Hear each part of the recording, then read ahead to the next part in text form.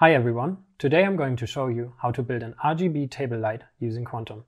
We will be using an RGB table light from Amazon, a couple of buttons, jumper wires, as well as three builder bases.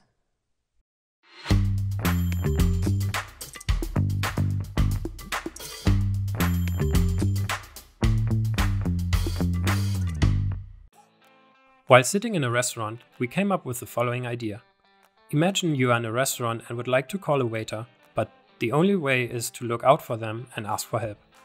By using a decorative table light and a couple of buttons, this experience could easily be improved. You can press one of the two buttons to either ask for service or the check. The waiters that are passing by your table will notice the different colors and help you with your request. There's also a center dashboard for the restaurant to manage all table lights and set the color on all of them. They also have access to each table's status and will be notified in case you request a service or the check. This is just one application for these lights. What you can do with them is up to you and your imagination. Before we start making, please visit our website quantumintegrate.com, click Support in the top menu, then click Projects and Tutorials on the next page, scroll down and click Open Projects and finally, select RGB table light. On this page, you will find all the related information for this project like schematics, app and firmware files, and much more.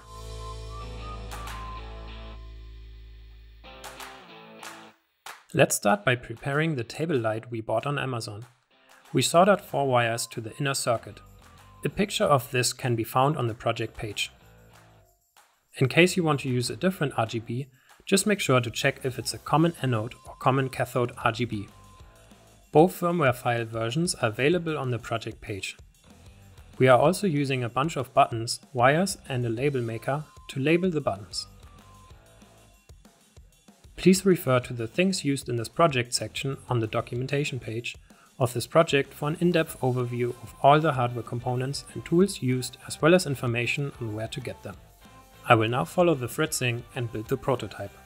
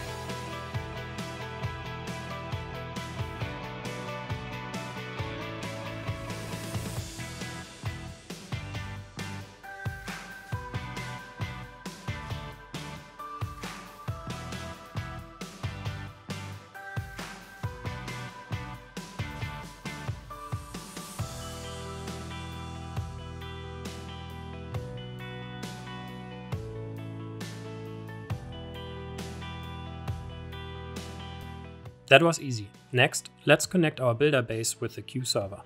First, make sure your builder base is powered and is either already connected to the Q server or is ready for pairing.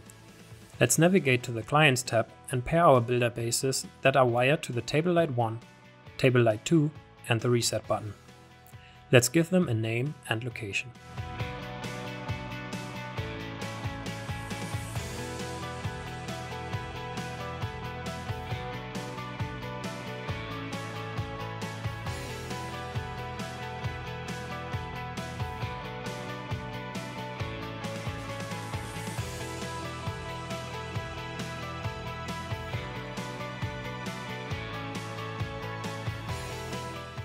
Next, we have to prepare the firmware files.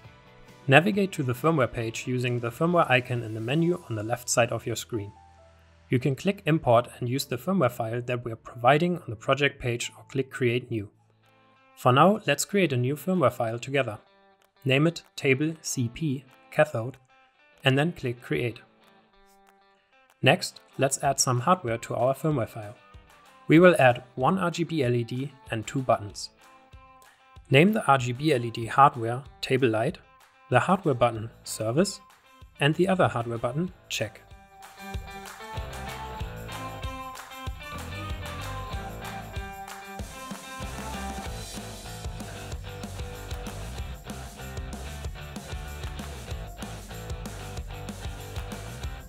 Let's start by configuring the RGB LED. We have one service that needs to be configured. We start with the driver. Select GPIO. For the red pin, we are using GP0. For the green pin, we are using GP1. For the blue pin, we are using GP2. The selected layout determines how your RGB is structured internally. We linked an explanation for common cathode and common anode in the description below. For now, Let's select Common Cathode. Next, we have to configure the service button. Select GPIO. We are using GP5. Enable button debouncing and select Input Pull Down for the pin mode. Do the same for the check button, but make sure to select GP6. The second firmware file we need to prepare is for the reset button that can be used by the restaurant. Let's create a new file and call it table cp reset. Then click create. We will just add one button hardware to our firmware file here. But for later, we could extend functionality and add more buttons or other hardware like an LCD display. Use the GPIO driver again. For the pin, select GP0. Enable debouncing and select input pull down for the pin mode. Congratulations, you have finished creating the firmware file for the RGB table light. Now all you have to do is upload it to the correct builder bases.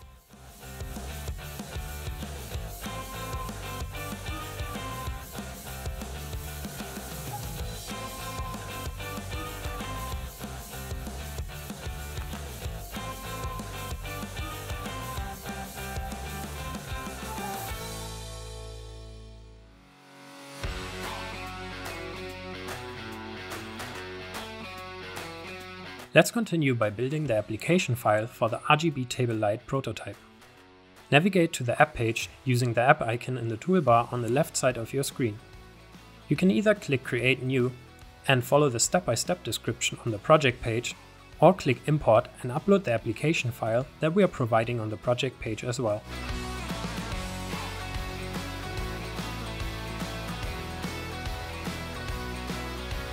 First, let's revise the general structure of the app together. Looking at the canvas from a high level, you will notice that we have a lot of blue hardware objects on the left and right. The hardware objects on the left are the buttons that we are using for various functions. These will be used to call for service or the check, and the button to reset the lights for the whole restaurant.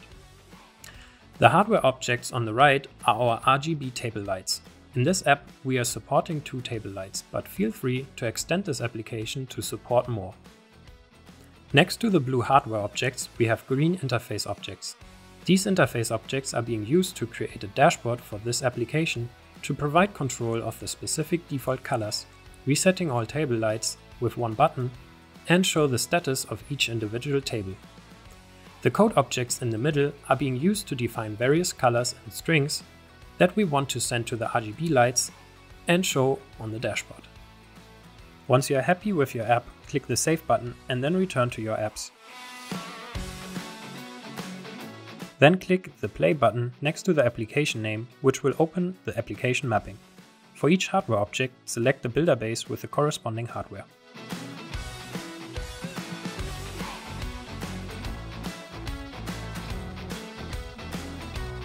Once you're done, hit the Save and Run button. You are now ready to use the RGB table lights. Enjoy!